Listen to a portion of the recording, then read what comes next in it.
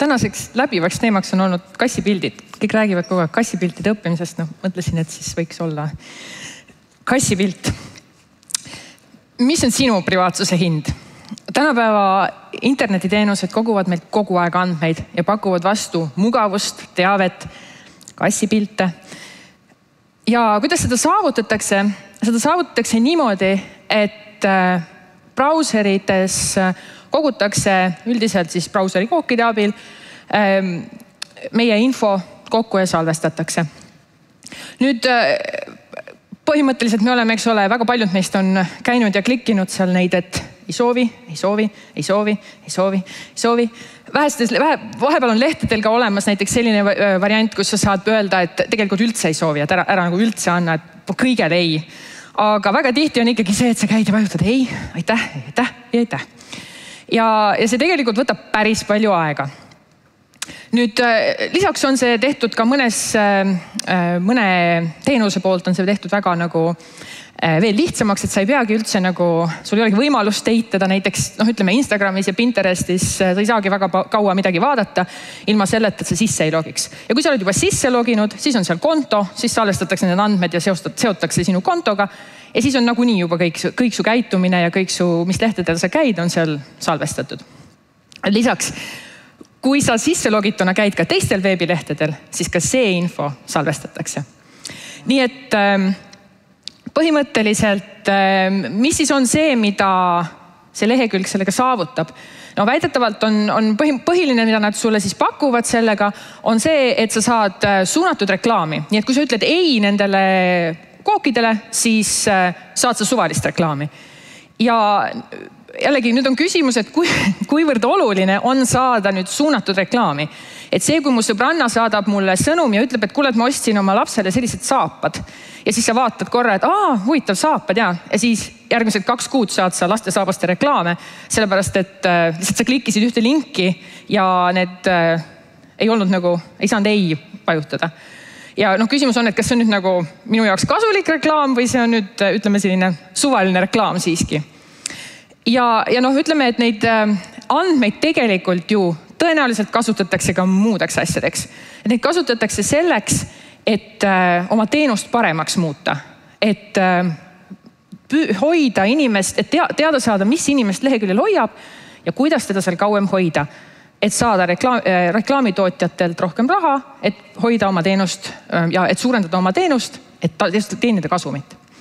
Loomulikult on väga paljudel meist olema, olemas, eks ole, adblock, mida me ka kasutame, mis meile siis jällegi neid reklaame nüüd ei näita.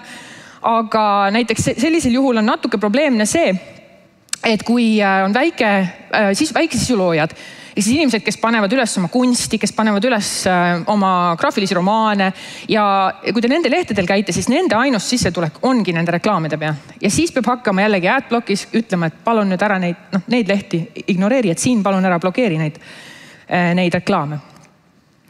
nüüd äh, oskamata oma andmeid väärtustada võime anda liiga, neid ära liiga kergekäeliselt. sest noh, väga palju oleme kuulnud ju juttu, et aga mis vahet seal on.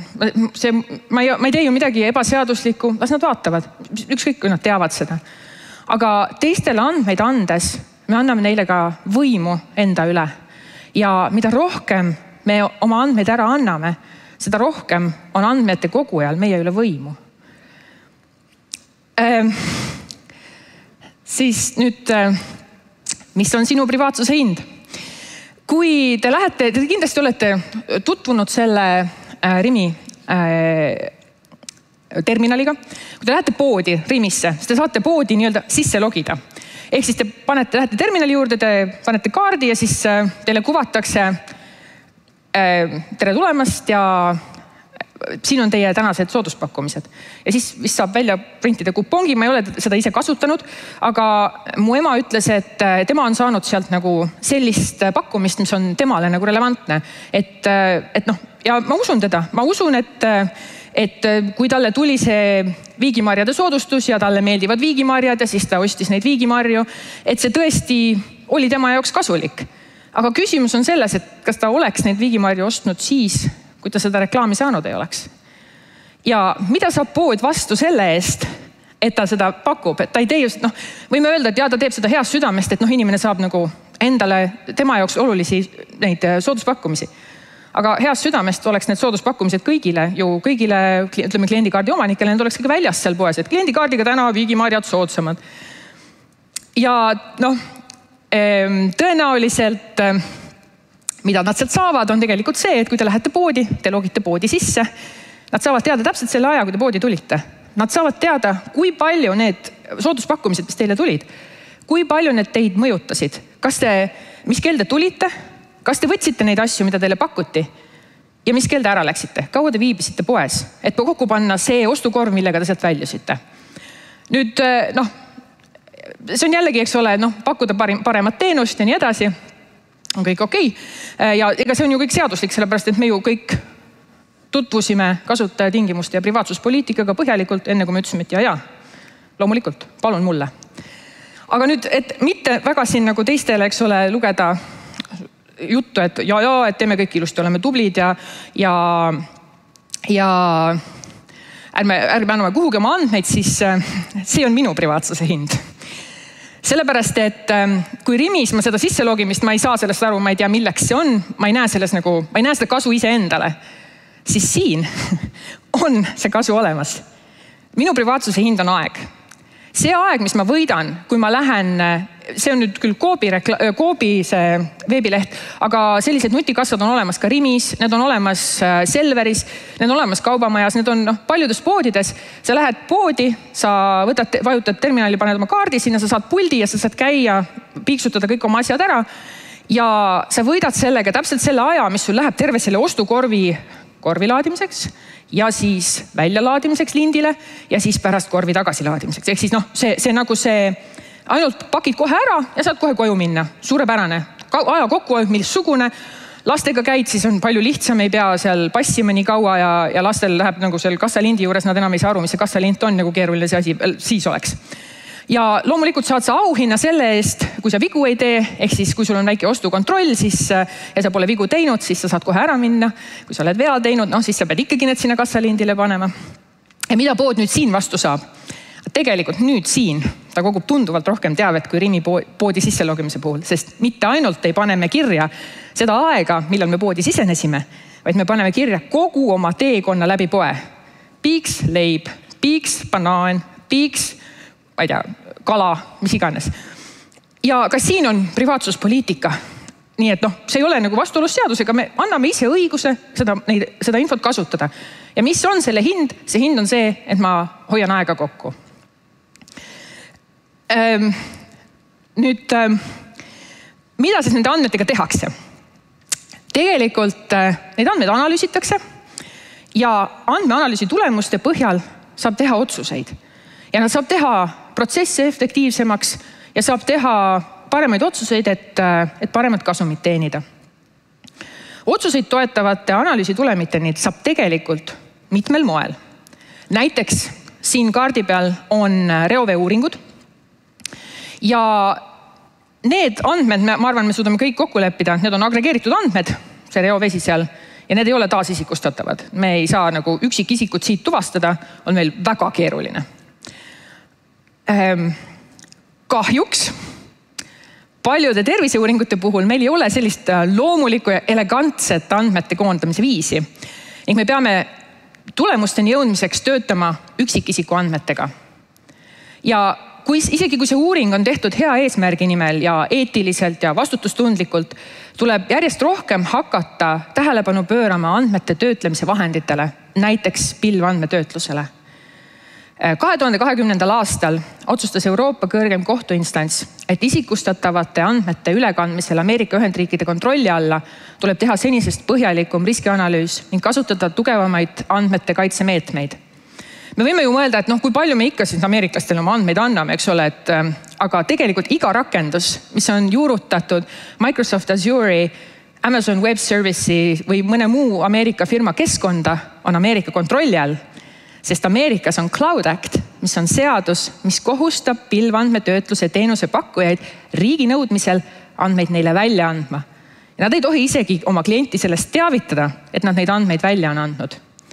ja seda võimu saab kasutada nii privaatsuse rikkumiseks kui ka teenuse äralõikamiseks. ja see ongi see tehnoloogiline suveräänsus, mida tegelikult Euroopa tahaks saavutada. hetkel on lihtsalt see probleem, et meil ei ole Euroopas sellist äh, pilveteenust, mis suudaks olla võrdne kõikide nende Microsoft Azure'ide ja Amazon Web Services idega. ja see on see, mida tegelikult siis on, üritatakse saavutada. nüüd äh, teine küsimus on identiteet, millega on samamoodi probleeme. Euroopa identiteedi tulevikku nähakse kukrupõhisena ja nii nagu Covid-19 tõendid, hakkame me visioonide järgi tulevikus ka juhilube ja igasuguseid muid tõendeid kandma digitaalsetes kukrutes. Ja seal nad on kaitstud salajaste võtmetega, mille kaitse, mille kaitseks on siis Ameerikas disainitud ja Hiinas ehitatud mobiiltelefonide turvamoodulid. keegi, kes kontrollib kukrute sisu, kontrollib tuleviku Euroopa identiteeti. ja te kindlasti teate seda ütlemist, et ära pane kõiki oma metafoore ühe, ühte korvi no metafoore ja mune ja andmeid ja kõige lihtsam on loomulikult töödelda andmeid ähm, niimoodi, et sa näed kõiki andmeid. Nad on kõik sinu arvutis ühes suures Exceli tabelis ja täna ülikoolides tegelikult andmeteadlased, kui nad tulevad, siis see ongi see viis, kuidas nad on harjunud tööd tegema ja nad ja niimoodi nad noh, nad, see ongi neile kõige mugavam, eks ole, ja see on loomulik, et see on mugavam, kui mul on kõik andmed on olemas ähm,. samamoodi on kergem mõelda et äh, suudad kaitsta tundlikke andmeid või näiteks krüptograafilist võtit just seda, kui nad on kõik ühes kohas. aga tegelikult näited Eestist ja mujalt kinnitavad, et lahtised andmed, mis on kellegi arvutis, kellegi tööarvutis, kipuvad siiski lekkima, kas siis sisemiste või välimiste ründajate kaudu või lihtsalt hooletusest. nüüd äh, X-tee sai eelmisel aastal kahekümne aastaseks ja Eestis on andmete hajutatus olnud juba pikka aega norm meil ei ole kuskil keset Eestit suurt andmebaasi, kus oleks andmed meie tervise ja hariduse ja palga ja sotsiaalsete näitajate kohta. aga võib-olla saaks tulevikus teha ka analüüsi niimoodi, et me ei peaks neid andmeid selleks analüüsiks kokku tooma ühte kohta me saaks kasutada privaatsustehnoloogiaid nagu näiteks äh, turvaline ühisarvutus või äh, liitstatistika või liitõpe, äh, mille puhul siis masinõppemudeleid treenitakse koha peal ja siis pannakse kuskil keskel kokku. ja mitte ja keskel ei liigu mitte andmed, vaid liigub masinõppemudel ja olgugi, et praeguse, praegu on, praegustele meetoditele on olemas ründed, siis siiski kõik need suured andmed, mis sinna keskele liiguvad, versus see, et liigub ainult mudel, on juba natukene andmete minimeerimist. nüüd äh, samamoodi nagu on võimalik arvutust jagada, on võimalik jagada ka võtit. Tänapäevane krüptograafia lubab meil teha nii, et inimese identiteeti kaitsev krüptograafiline võti on jaotatud kaheks. pool on teenuse poolel ja pool on kasutaja nutiseadmes. ja digitaalse äh, allkirja andmiseks seda kunagi kokku ei pandagi meil Baltimaades on see juurutatud Smart-ID teenusena. ja teenusepakkujal ole, ei ole täit kontrolli, ta ei saa kasutajaks kehastuda ja telefonitootjal pole täit kontrolli. Telefoni kloonimisega identiteedi kloonimine on tuvastatav. ja krüptograafiline lahendus ei sõltu telefonitootjast või talle kehtestatud sanktsioonidest. näiteks Huawei kasutajad saavad turvaliselt digitaalset allkirja anda. aga mis siis edasi saab, et ähm, tegelikult järgmised põlvkonnad mõistavad äh, teisiti nii keskkonnaprobleeme kui ka andmete hügieeni. Mõlemal juhul on meie tänased otsused olulised. kui ka meie järeltulevad põlved peaksid tahtma näiteks oma fotosid või teavet paremini hoida, siis need otsused, mida meie teeme täna, võivad selle nende jaoks võimatuks teha kaitsmata ja krüpteerimata andmete kopeerimine ja mitteotstarbeliselt kasutamine on väga lihtne internetist jagatut on väga raske tagasi võtta, kui mitte võimatu. täiskasvanud inimesel on raske lahti lasta status quo'st, aga meie laste jaoks on näiteks turvavööga sõitmine või prügi sorteerimine igapäevased tegevused. ehk õnnestub samas saavutada ka digihügieeni, digitaalse suveräänsuse, hajuse andmetöötluse ja privaatsusega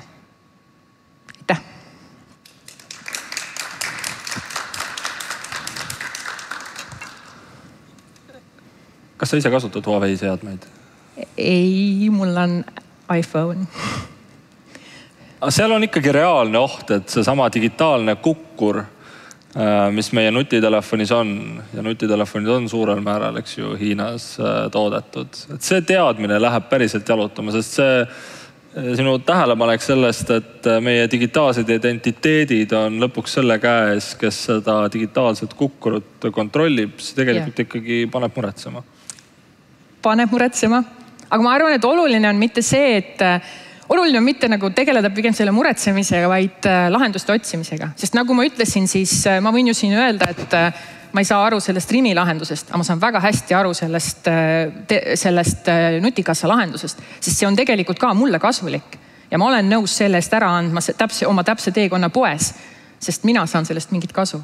aga lihtsalt reklaamist ma ei, ma ei tea.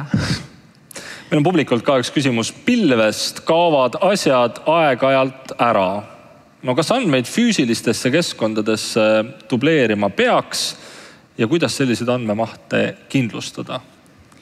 eriti olukorras, kus neid andmeid tekib juurde sellise metsiku kiirusega, et nad ei mahu ka varsti nendesse pilvedesse ära, kuhu me endale mahtu oleme ostnud? oi, see on nii pikk teema, see on, see on väga hea küsimus, aga ma alustaks sellest, et no kõiki asju ei ole vaja alles hoida ma tean, et see on raske. mõtled, minu viimase kümne aasta meilid ei peaks mul siis alles olema kusagil kopeeritud see on täpselt see, mida ma mõtlen see oli tegelikult ka minu jaoks väga suur üllatus, kui meil ettevõttes öeldi, et kuulge, et teie mailbox'id hakkavad nagu väga nagu suureks minema, et ketta, kettaid on aina juurde ja juurde vaja panna, et äkki te teete midagi ja siis näiteks listikirjad võib kõik maha kustutada, sest need on arhiivides olemas. ja kui sa oled juba kettale korra salvestanud näiteks selle Exceli faili või mingi Wordi dokumendi, et tegelikult siis võib selle kirja maha kustutada, sest seda kirja enam siis vaja ei ole. aga muidu ta on ka seal alles ja ta on su kettal alles.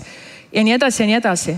ja noh, tegelikult ma ei ole kindel, kuivõrd palju on vaja seda ähm,, seda kolmandat Äh, mustandit sellest europrojekti äh, tarnest, mida me vahetasime seitse korda üle-eelmisel aastal et noh, see on kõik täpselt selline, et tegelikult näiteks igal aastal, kui teil on aega, tegelege digihügieeniga, minge ja kustutage tühjaks need äh, oma eelmise aasta kirjakastid näiteks. ei pea täiesti nulli laskma, loomulikult on, on selliseid inimesi, kes võtavad ja lihtsalt nagu eelmine aasta, delete.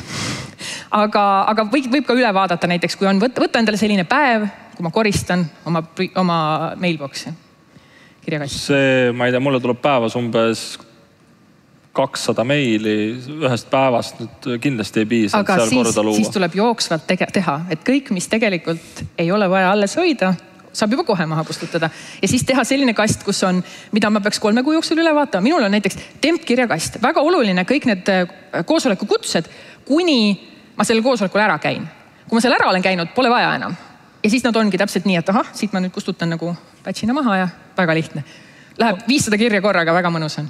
õudselt ootan seda tehisintellekti, kes lõpuks mu mailbox'is korra majja löön, lööb ja ma loodan, et see ei ole Hiinas tehtud lihtsalt turvalises mõttes. suur aitäh, Liina